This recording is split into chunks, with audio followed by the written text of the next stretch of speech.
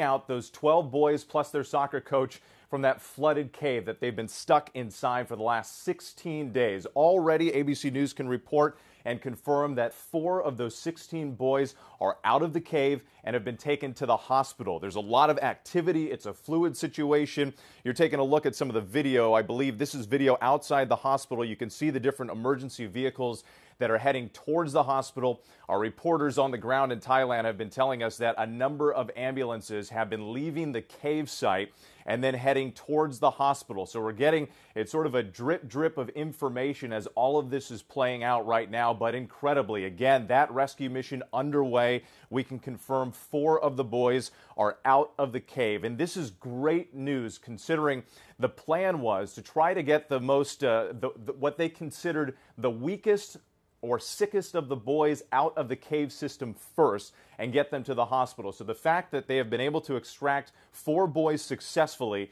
is great news for the rest of the group. Again, an unfolding situation, developing story. We're going to bring in a number of correspondents and experts uh, throughout our continuing coverage here. First, let's go to Eva Pilgrim live in London, who's been following all the developments out of Thailand. And uh, Eva, just walk us through some of the bullet points, some of the latest details that we know right now. Well, we have confirmed that four of those boys have been brought out, and they're now saying that they're healthy. The plan at this point is to try to get the other boys out in the next 10 to 20 hours. That is what we're told. But you mentioned that they've gotten four out. Those were the weakest of the four boys in the group, and they did it in relatively quick time. Initially, they told us that these trips would take upwards of 10 hours, five hours in, five hours out. This happened pretty quickly. Now, this is the process process that they're going through. They're taking them out two at a time in a buddy system and putting a diver in front of them and a diver behind them just to keep them safe and to make sure that the boys don't panic. They don't want to take the whole group out at the same time in case one of the boys does get frightened, does panic. It's a much more controllable situation when you have just two of them. It's much easier to keep them calm. And, and they're taking them past the difficult area inside the cave, one of the most difficult areas, and then they're restaging there as they move to the entrance of the cave to actually get them out. Now, once the boys get out of the cave, they are then taken to basically a triage tent where they're checked out. They decide to look at them and see how they're doing health wise before they put them in that ambulance and then get them to the hospital. Now, we know some of the issues that they were facing as they were trying to determine now for days how they were going to get these boys out was one, if it was even safe to move them, would these boys be strong enough to make that journey? That was one of the major concerns. But they were up against this rush of time because, one, the oxygen in the cave has been at varying levels, and that has been very concerning. One of the Thai Navy SEAL divers dying uh, in the cave earlier this week because of those oxygen levels, and, and that was a, a big concern with how they would move those boys. Would those boys be strong enough to make the journey? But also, this is the beginning of monsoon monsoon season in Thailand. If the rain starts, that water starts to rise again in the cave, it becomes much more difficult for these boys to get out. And a lot of these areas in the cave are very small, hard to navigate, even for these experienced Navy SEAL divers. And they didn't want to put those boys in a dangerous situation if they didn't have to. At this point, the water is pretty down, so it's an easier journey, they're saying, for the boys than it would have been if the water was higher up. And I think that is in big part why we're seeing these journeys in and out go much more quickly, Whit. And Eva, uh, bear with me here a second. I just want to point out to our viewers what you're seeing on your screen there. We were showing a graphic repeatedly of, of what that cave system looked like, where you had these different chambers that would open up an open air place, but then other parts you can see were completely submerged underwater. We were getting word that uh, crews were going inside that cave system. They were actually using underwater jackhammers to try to clear out the ceiling, basically break free some more pockets so that the boys didn't have to be underwater for as long of a period of time. Because we were getting word that some of these boys didn't even know how to swim, and the ones who did certainly weren't skilled enough to be able to go underwater for long periods of time. So when you consider the Navy SEAL Eva, who you mentioned, who, who died as part of this rescue effort, this really gives you a sense of just what these boys were facing. The fact that a trained expert even had trouble underwater there, and now you have to take a, a, group of 12 boys plus a soccer coach and try to get them out of there. But Eva, you were saying that they felt like they had no more time left with the impending rains coming through, right? The impending rain that is supposed to be coming there. Our crews on the ground, uh, Adrienne was talking earlier today about the fact that it's raining where she is right now. And, and it doesn't take a whole lot of rain to see that flooding go up. You have to remember when these boys initially went in, they were able to walk in the entrance of the cave. And in no time at all, the rain came pouring down and they were trapped. Now, the cave itself just to kind of explain to people how these boys were navigating inside. It's a it's a series of tunnels that stretches for miles and miles, and it really is a remarkable story, a miracle that these boys were able in that uh, the flooding that was happening in those caves to find a dry spot and to put themselves together in this dry spot and survive and wait for 9 days for someone to come find them. That video of the British divers finding them and talking to them uh, and, and seeing them somewhat healthy. I mean, weak but healthy there, sitting together, uh, was so remarkable and so incredible to see. And and so many people just it, it, was hard to have hope after nine days that they would be okay, and to see that they are okay. And now the four weakest of those boys out, and to hear that they're healthy, just a remarkable situation. Absolutely, Eva. We're showing that video right now. Um, I mean, this is a, an inherently emotional human story. I mean, we saw for nine days, you mentioned the parents of those boys praying outside the opening of that cave. Um, when others around the world had lost hope, they believed that perhaps those boys were still alive. And then to see those images, the video of their smiling faces, there they are right there. I mean, just uh, incredible. And you, one can only imagine the agony. I'm a parent myself, what it must have been like for those parents to wait, not knowing the outcome. And then today, an emotional roller coaster. Of course, everybody excited about the fact that they're this rescue effort is underway and they're bringing the boys out, but still the challenges that lie ahead for many of them, and also the medical treatment and just the reentry into the world. They've been underground. They haven't seen sunlight for 16 days. They haven't had proper meals. So this, there's still a long road ahead, but certainly uh, a hopeful story as we're watching all of these developments unfold. Eva Pilgrim, stay with us for a moment. We're going to come back to you in just a second. But first, though, I do want to bring in John Cohen on the phone for us, uh, former acting undersecretary for the Department of Homeland Security. And, John, we know this is uh, an international effort. The U.S. is heavily involved, uh, the British, Australia, um, many teams from around the world. Uh, tell us what's going on here and how a rescue mission like this is coordinated with all of these different nations involved. Right. It, it, it's very complicated, as you pointed out. I mean, you have to work out uh, how you provide for a unified command and control, and that that exists within every phase of this rescue, whether it's the search and locate, whether it's the development of the rescue plan itself, whether it's preparing to conduct the rescue and in, in the pre, pre-positioning of equipment along the way uh, that the rescuers will follow. It's the transportation of these kids to uh, an initial triage site where they can be evaluated immediately by medical personnel, uh, and then transporting them to the hospital. And then after their immediate care, it's going to be the long-term care for these kids uh, for medical and mental health at every stage you have a multinational group that is working together to do this. And that raises a whole series of challenges, whether it's uh, language issues, uh, equipment, communication equipment issues, uh, whether people have the same level of training or, or expertise. Uh, so as they are working to plan and execute a very, very complicated and challenging uh, rescue operation, they're having to deal with a number of logistic issues just simply because you have people from all over the country, uh, government and non-government personnel who, who are there to help. And we should point out, too, Thailand now, uh, this area specifically, is 11 hours ahead of us. So it's now entering, uh, you know, past 9 p.m. local time there. They've been at this all day. Talk to me a little bit more about the buildup, John, and the decision that goes into saying, yes, let's do it. Because there were a variety of different ideas, one being that they would cable some kind of oxygen line into the cave system and somehow be able to provide oxygen, and then they could bring the boys out that way. There were also ideas about drilling different boreholes into the cave system and maybe they could climb out. So there are all these different ideas. And then they were moving forward on this buddy system. And then you get the news of the Navy SEAL who died. And that was really a shock on the entire system where everybody was realizing just how treacherous this journey would be for these boys. What goes into the decision to say, yes, we're going to do it, and today is the day?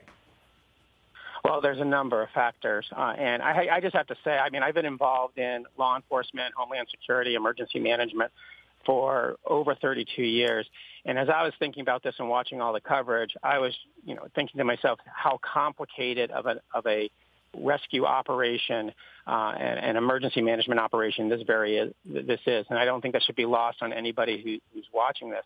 So factors that the planners are uh, going to be looking at: uh, one, are they ready? Do they have a viable plan that the experts on scene believe will work? Because as you pointed out, they were exploring a number of different options, but at some point uh, there was a, a, collective recommendation made to those who were in charge of this operation, uh, w- in which the uh, the military and other rescue uh, uh, experts said this is what we think is the most viable option.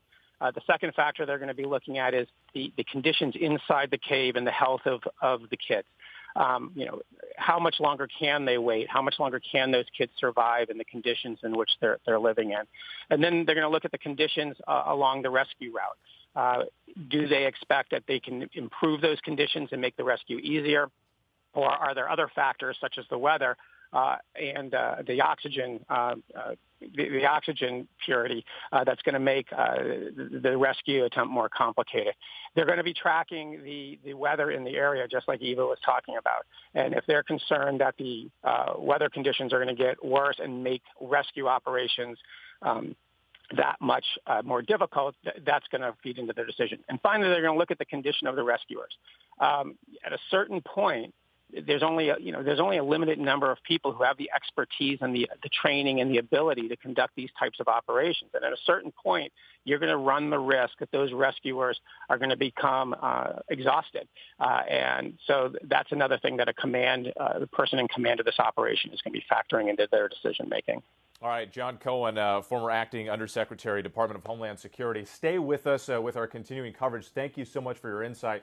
I just want to update our viewers here. Uh, we are confirming once again that four boys are out of the cave. Four of those 12 boys on the Wild Boar soccer team, and the coach being the 13th person down there.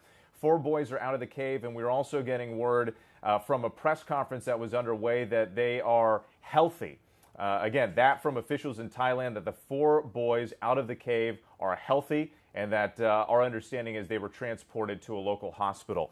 Um, I do want to bring in uh, Admiral Robert Harward, a former Navy SEAL, deputy of uh, U.S. Central Command and an ABC News uh, contributor. Uh, Admiral Harward, thank you so much for joining us. your insight critical here because you yourself, being a former Navy SEAL, talk to us about the conditions that these boys and their rescuers are up against today.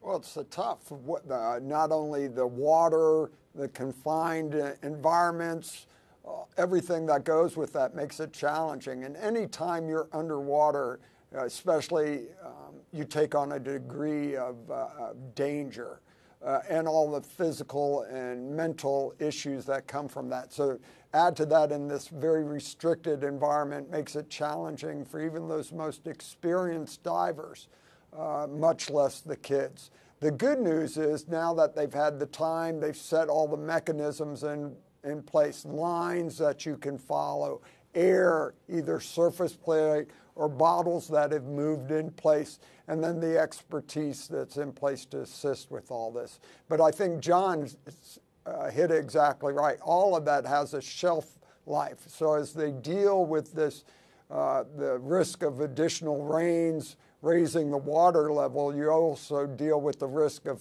people now operating around the clock for weeks on end and the toll it takes on them, which increases the danger to all. So they've got to balance all of those elements to get the rest of the kids out. So we've been successful. We've gotten a third of them out. We've learned the lessons. Let's rest everyone, be prepared, and then surge to get the last group out.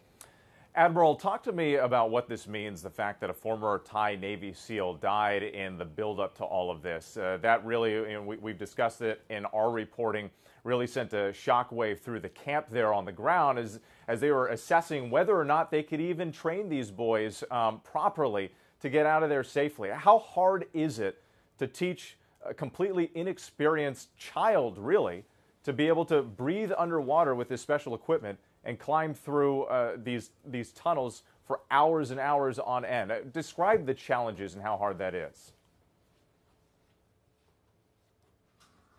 Uh, we just lost uh, Admiral Harward. we will check back with him a little bit later. We've got a few people that we can check in with uh, during our coverage.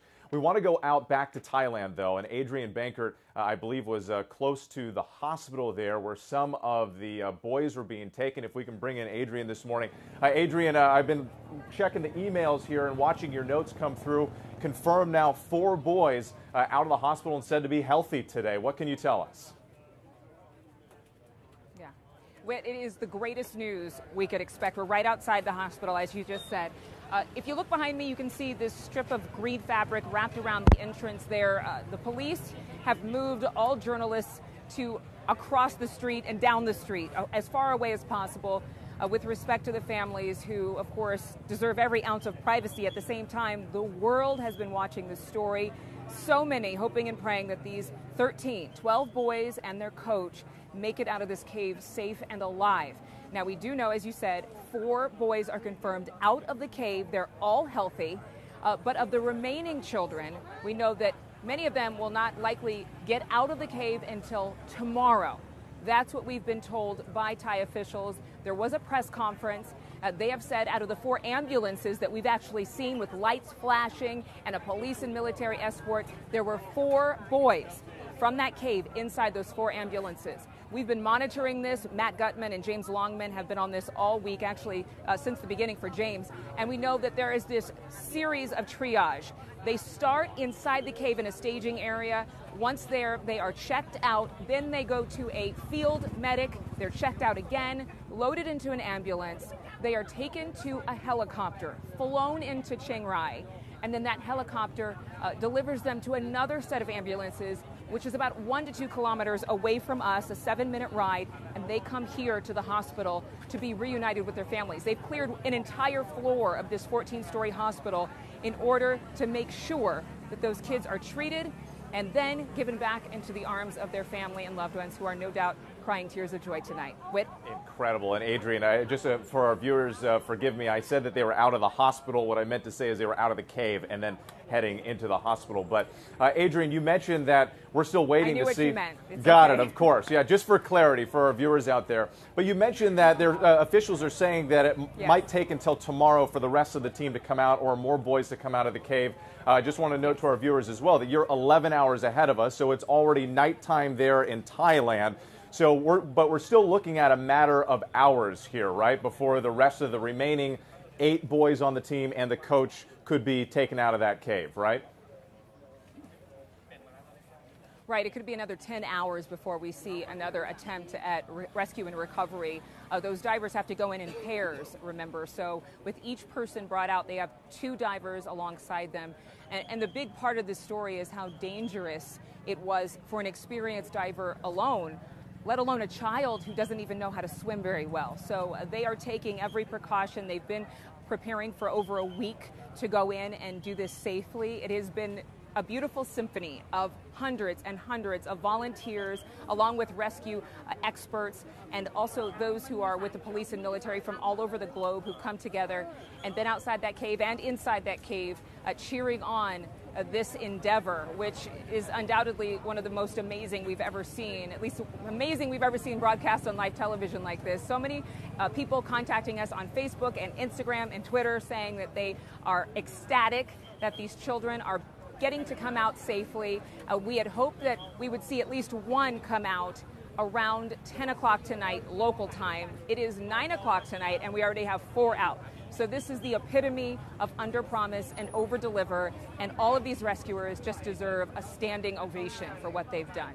Ab- absolutely, and the entire world rallying around these boys, the Wild Boar soccer team, and of course all the rescuers doing incredible work. Adrienne Banker, we will check back in with you soon. Any updates, please let us know, and we'll break back in with you. I do want to bring in our Sam Champion, who's joining me in the studio here. And Sam is able to help us out on two fronts here. You're a meteorologist, but also a diver as well. Talk to us about the conditions, uh, first with the weather, because one of the reasons why they expedited this rescue mission is the fact that a monsoon was coming in, which could further flood that cave. Right. So we're in monsoon season. There's basically two times that that happens in Thailand. It happens in the cold season and the warm season. So we're in one right now that generally starts around June and goes all the way through October.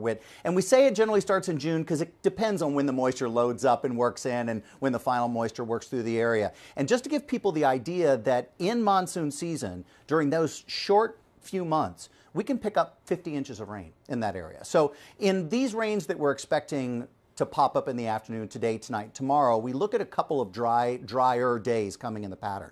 But every afternoon, these showers will really light up. And it can be more than showers. It could be several inches of rain. And to people at home, they're thinking, okay, four, five, six inches of rain doesn't sound like a lot of rain. That happens for us in Ohio or it happens for us in Indiana, you know, during thunderstorms. But we're talking about a very mountainous area. And as you can see in those, in the chambers of the caves, that's basically the runoff for the water. So we're talking about, like, you know, in, in LA, they have those big basins that they catch all the water and run in. And, and they're dry until it rains, and then there's 12 feet of water in them. Absolutely. So that's exactly what's going into these chambers in the caves. All that runoff water is going down through the mountains into these chambers, and those boys are right in one of them. It's, so it's important to remind our viewers too how they got in this situation. They walked into the cave, Exactly. and their water wasn't there. Maybe there were some muddy spots, but then that monsoon rain came through and it flooded so quickly, Yep. cut off their exit. They had to retreat then deeper into the cave Yeah. to find higher ground. So that's an idea of how fast things can change. Right, and it can change just like that, like you said. And, and we're talking about getting rain, more rain, almost every afternoon until a big event moves through. And that's what they're most concerned about getting these kids out of the caves before a big rain event moves through, something that's organized that can drop many, many, many inches of rain and last for several days. Let's talk about the diving part. You're, you're a diver yourself. I heard you on Good Morning America this morning talking about uh, the type of equipment that the boys were using. The rescuers were putting specialized masks on their faces. What can you tell me about that? Well, in the old days when we trained, and I trained to dive for GMA to do stories that were that were underwater. And one of the things there's just this human fear that you're holding a respirator, which is in the old days. It's so it's, there's a mask with one strap, and then you're holding a piece in your mouth to get your air. Your nose is closed off from the mask, so you're only using your mouth to inhale and exhale. So um, that's a little nerve wracking for people because it requires a different way for you to breathe than you normally breathe every day. Breathe every day. Usually we breathe without thinking Right. too. So to, to focus on your breathing like this, incredibly difficult. And you have to monitor everything. And PADI, which is the, the dive uh, group, has come up with ways to communicate because your mouth is busy breathing. And, you know, so you have to like stop or wait right there, come toward me. How are you? I'm okay. Or I'm okay. And uh, the other thing is, you know, do you have a problem with your air? So if you have a problem with your air, that. So for scientific research, they developed these full face masks where the air was coming into the mask and it was one chamber instead of two. Instead of your eyes being separated from your mouth, it's all encased in one clear plastic chamber, and the rubber seals are to the side and all the way around your head. Now, the problem with this apparatus is it has multiple straps, so it's harder to fit someone, especially a small head. Um, so, you really have to make sure that you're not getting water because it's really difficult to clear that mask if water starts to infiltrate the mask. But the great thing about it, and why scientists loved it so much, is that it is one clear vision from every side of your face. There's no panic about, I can't see on either side of my head. So you can see everything around you and you can talk just like you would normally talk, and you can breathe just like you normally breathe. So that's come into uh, being a lot more popular for recreational divers, and now they have that mask. That's the mask that Matt Gutman showed us that they were using on these boys today. And um, so that's the mask they're going to be in. It will take a lot of the panic out, and I'll tell you from everyone learning, and I learned late in life. So even as a 40 something year old guy learning to dive, the first time you throw someone in the water, it's a panic because your mouth is closed, you can't breathe, you can't see, you're underwater, and you just want to rip everything off and head toward the surface. So you have to learn. The difficult thing about training someone to dive is learning to overcome that, learning to mm. trust that the air is flowing, learning that you have people around you that you can signal to for help if you need help, and that everything will happen. They're telling us they have multiple air supplies for each person as they go through. so they, if they've set up different stations Right, where if so- somebody has a problem, Exactly. Yeah. If you have something wrong, there's another way to get air to you. If you can't breathe for some way, here's the way that we'll do it. And it's very easy now with equipment to detach your air supply without having to take that piece out of your mouth and put a new piece in and re-rig a tank. You can actually detach it from a place that's very close to your side Just make that connection, and you have a fresh tank of air. And incredible, too. And we know that those Navy SEALs have actually been training with the boys for a few days, establishing that relationship and that trust that you pointed out that's so crucial. Sam, we're going to come back to you in just a moment, but I want to bring back our Eva Pilgrim, who's live with us in London. Uh, Eva, you've been following all the latest developments. I know that there was a press conference underway. Uh, are we learning anything new about what's happening on the ground there in Thailand?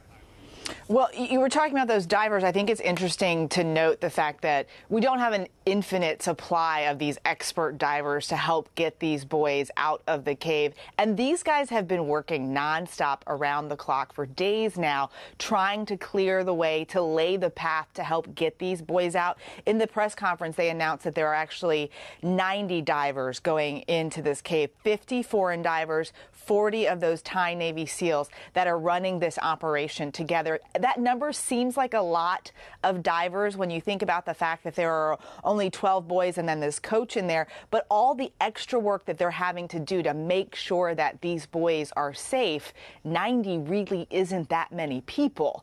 And then two divers with each pair of boys that comes out. You see now kind of why this has been such a slow but steady process in trying to get these boys out. The latest we heard, and you heard Adrienne talking about it, four of the boys are out. They are healthy, and it's going to be 10 to 20 more hours before they're able to, to go back in and get to the rest of those boys. It is interesting as well to know of the 12, the ages of these young men that are in there. They're between 11 and 16 years old. So some of these boys are quite young.